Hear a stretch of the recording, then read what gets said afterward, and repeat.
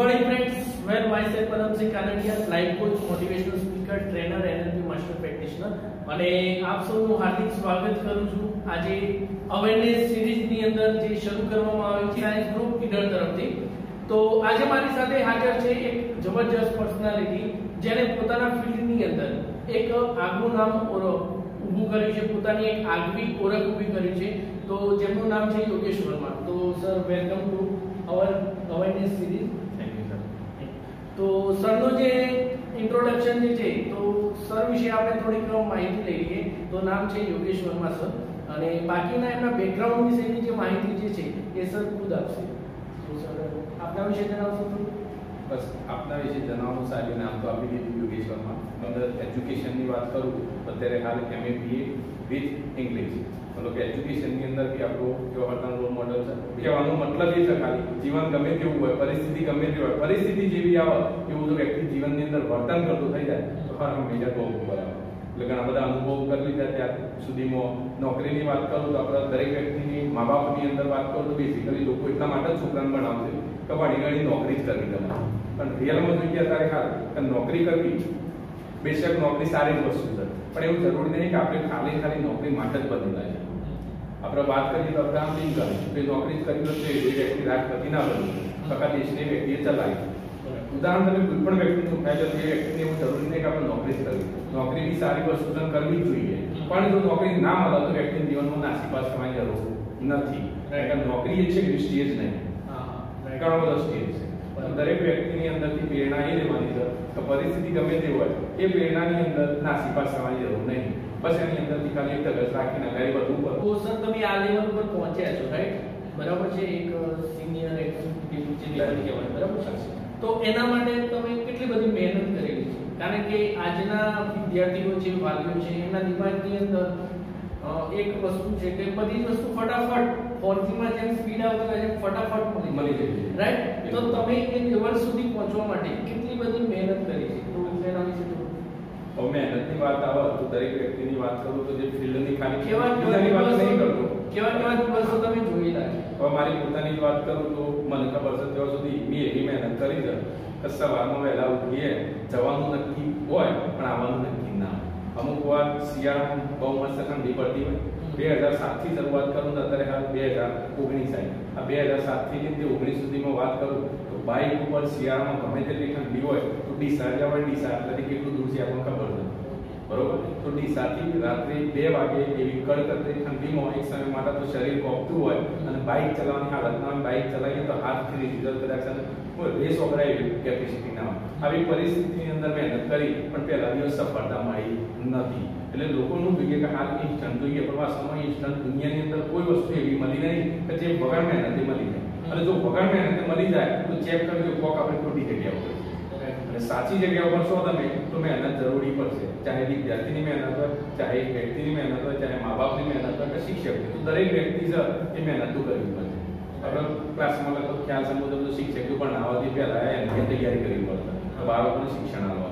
જો શિક્ષક સર ખાલી કલાક આવે બાળકોને અંદર માઇન્ડમાં ઉતારવા માટે એની મહેનત કરવી પડે. તો આપણે તો ભણવાનું છે આપણે પરીક્ષા આપવાની છે. વિદ્યાર્થી તરીકે આપણે એટલી તૈયારી કરવી જોઈએ કે શિક્ષકે જે ભણાવ્યું હંડ્રેડ પર્સન્ટ ઘેર પછી રિવિઝન થવું જોઈએ. અને ફટાફટ એનું બીજા દિવસ સ્કૂલની અંદર ફરીથી રિવિઝન થાય. તો લગભગ આપણા જે ક્વેશ્ચન છે મહેનત વાળા તો મહેનત દરેકની આસાન થઈ જાય. અને વાલી તરીકે વાત કરું તો અમુક વાર તો વાલીઓને એવું છે કેવું કે સ્કૂલની અંદર પૈસા આવે છે ફી આવે છે એટલે ઓર્ડર કરતા હોય.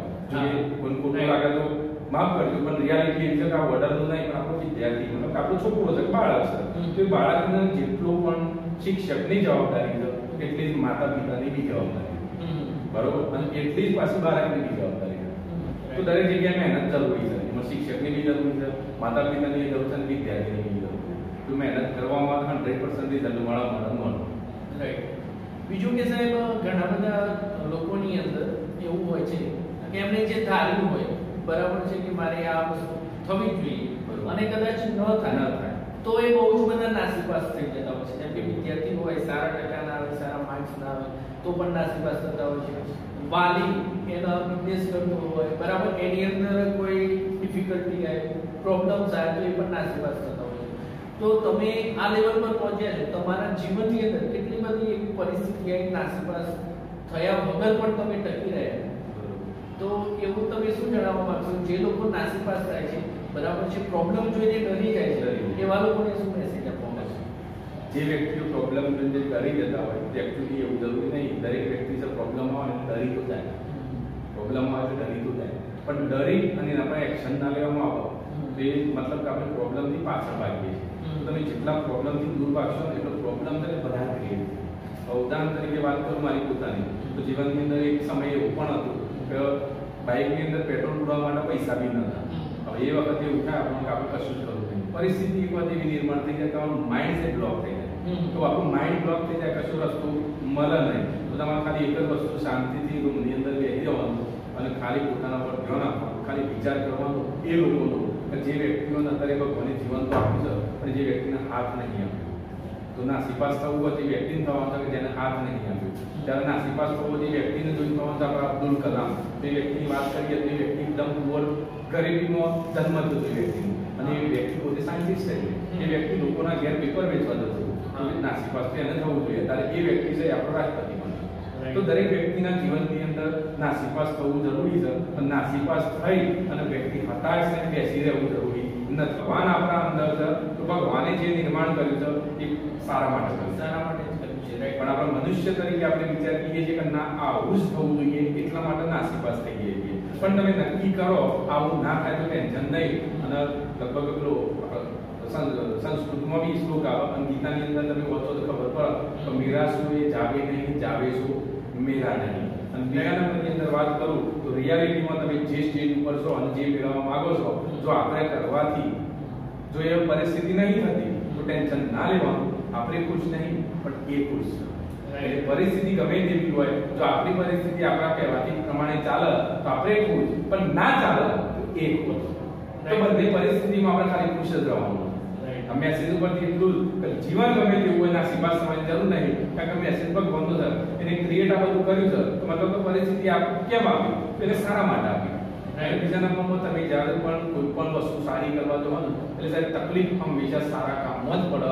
ખરાબ કાર્યમાં તકલીફ પડે નહીં. રાઈટ તમને ખ્યાલ હોય તો રેસની અંદર જીતાડવા માટે ઘોડાને પેલો ચાબુક મારે એક મારે બે મારે. અને પેલાનો ગોલ હું અલ્ટિમેટલી અંદર નંબર બનાવે ઘોડાને ચાબુક જોરદાર મારે તો આમ જોવા જઈએ ચાબુક મારે જેવું થાય? દર્દ થાય, તકલીફ થાય. પણ રિયાલિટીમાં માલિક પાસે શું છે? કે મારો છે નંબર વન આવડું છે એને જીતવું જોઈએ. તો એનો મતલબ એ છે તમે નાસીપાસ થઈ ગયા, એના કરતાં ભગવાને તમને ચાબુક માર્યો છે તો તમે પરિસ્થિતિમાં ભાગી ગયા. એ ભાગી કેમ ગયા? તો તમને ભગવાન છે એ જીતાડવા માંગે છે. પરિસ્થિતિ ગમે તેવી હોય, ગમે તેટલા ફટકા પર પણ તમે એ પરિસ્થિતિની અંદર જો ટકી ગયા ખાલી અને જો દોડતા રહ્યા, તો જીત ચોક્કસ મળશે. મેસેજ આવી ગયો. બરાબર. તો મતલબ કે એમ કહી શકાય કે લાંબી સોચ હોવી જરૂરી છે. બરાબર છે? તો અલ્ટિમેટલી તમે જેટલા બી વિદ્યાર્થીઓ છે જેટલા બી વાલીઓ છે એમના માટે ટૂંકમાં શું મેસેજ આપવા માંગશો? એમના જીવનની અંદર આગળ વધવા માટે. બરોબર. બરાબર છે? તો એમને શું મેસેજ આપવા માંગશો? તમારા? નંબર વન વાત કરું તો તમે કીધું કે લાંબી સોચ આવી જરૂરી છે. બરાબર. હું બી અનુભવ એવું છું કે સોચ હોવી જરૂરી છે. એ લાંબી શકે ટૂંકી પહેલા તો સોચ આવી જાય હા, right. લોકો પહેલા તો વિચાર નથી રાઈટ રાઈટ સાચી બરોબર? એટલે પહેલા વિચાર આવો એ જરૂરી છે. વિચાર આવો જોઈએ તો પછી ના પછી આવે છે કે વિચાર લોંગ હોવો જોઈએ.